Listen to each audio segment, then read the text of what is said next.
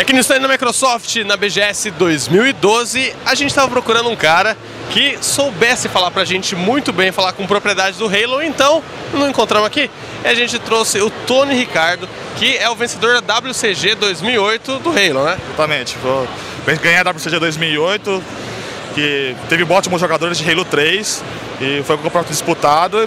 Muito bom o jogo. Qualidade. Então agora a gente vai falar do jogo que você jogou agora. Cara, primeiro qual foi a sua. É, você bateu o olho, o que, que você já viu de diferente de cara?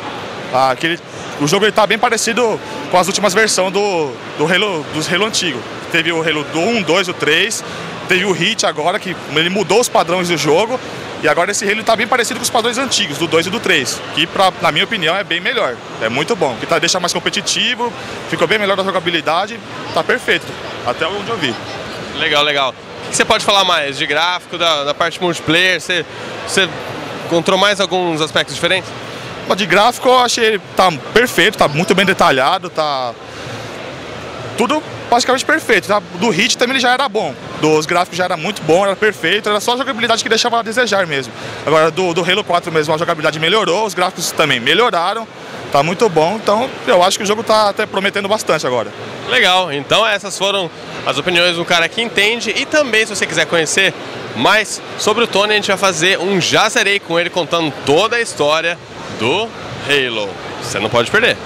Deve clicar aqui embaixo para ver. Ah, nossa! A Olympic Games evoluiu para Playgame, www.playgame.com.py. A gente está aqui na Brasil Game Show mostrando todas as novidades da feira para vocês e se você quer acompanhar mais de perto é só você se inscrever para ficar sabendo de todo mundo quando que a gente coloca vídeo aqui no YouTube. Você falou tudo já, né? Falei. Um vídeo por dia, tudo aqui no YouTube, clica para se inscrever. Eu já falei isso. Tá. E se você não clicar, sua mãe vai cortar a sua internet e vai colocar uma internet de escada pra você. Não vai dar pra jogar nenhum jogo online. Daí é tenso.